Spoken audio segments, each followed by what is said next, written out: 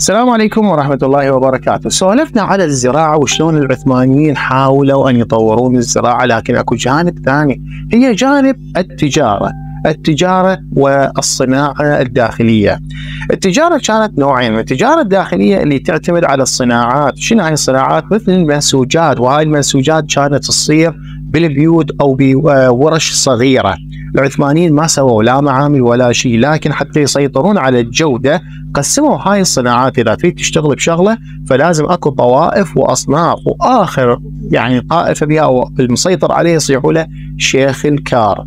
هاي الصناعات أيضا ما سلمت. ليش؟ نافستها الصناعات البريطانية التي جاءت من الهند. عن طريق شركة الهند الشرقية لأن بريطانيا كانت محتلة الهند لمدة 500 سنة واللي زاد الطين بلة إنه سنة 1869 تم افتتاح قناة السويس فصارت البضائع تجي من الهند إلى العراق بكل سهولة.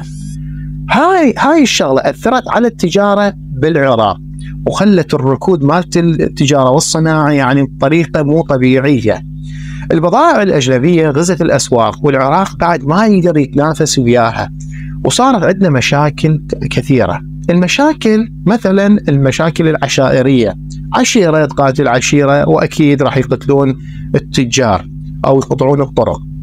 الشغلة الثانية من المشاكل اللي صارت بهاي التجارة هي طرق النقل، طرق النقل كانت تعبانة كلش يعني يجوز هسه عندنا تبليغ قبل ما كان تبليغ. ثالث شغلة سوء التخزين يعني إذا الطرق كانت زينه لما يوصلون البضاعة البضاعة تلقوها خربانة. الشغلة المهمة هي تبديل العملة، يعني عندنا تجارة ببغداد لما يعني حملوا بضائع وراحوا للبصرة، البصرة يقول لك إحنا ما نتعامل مع العملة اللي كانت موجودة ببغداد. هاي صار عندنا مشكلة. نقول هاي كلها تجاوزناها راح تجي إلى ثقل الضرائب. ليش؟ لأن الحكومة العثمانية فرضت ضرائب قوية كلش على اليمن على التجار. زين نجي إلى التجارة الداخلية. العفو التجارة الخارجية يعني تصدير خارج الوطن. هاي التجارة الخارجية بالعكس كانت مضرة لمن للشعب العراقي. لأن قلنا بعد فتح قناة السويس أصبحت هناك معاهدات واتفاقيات بين أوروبا والعثمانيين.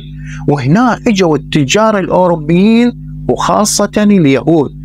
اليهود اللي سيطروا على اليمن على العراق بتجارتهم لأن هو كانوا كلهم يعني رؤوس أموال أنا هاي المشاكل كلها اللي صارت بالعراقيين العراقيين بقوا يعني ساكتين ومتحملين بس اللي داس بالبطن زيادة هي إن الحكومة العثمانية فرضت نوعين من الضرائب شنو هي؟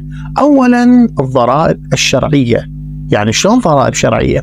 يعني نقول العشر وغيره الأموال الشرعية إلى آخره الجزيه لكن أكو ضرائب غير شرعية.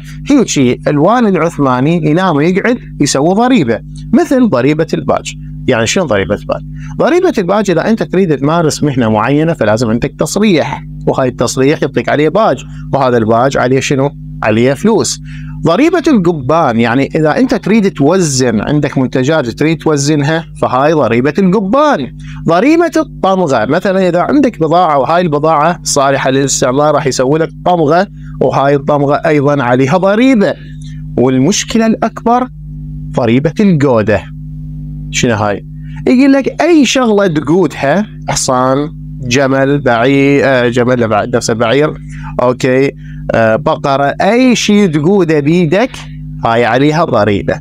وهنا لقينا العثمانيين ما شاء الله ينام ويقعد ينطي ضريبة. كل هاي أثرت سلبا على التجارة والصناعة في العراق.